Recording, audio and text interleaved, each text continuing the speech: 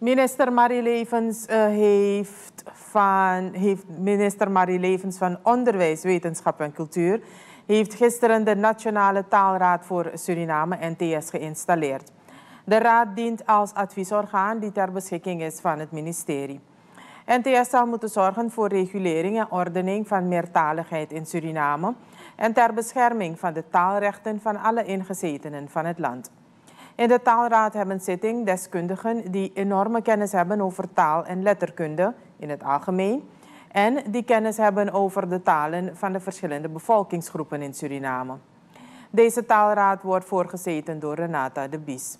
Ze stelt dat geen enkele taal meer verloren mag gaan, zoals enkele van de inheemse talen.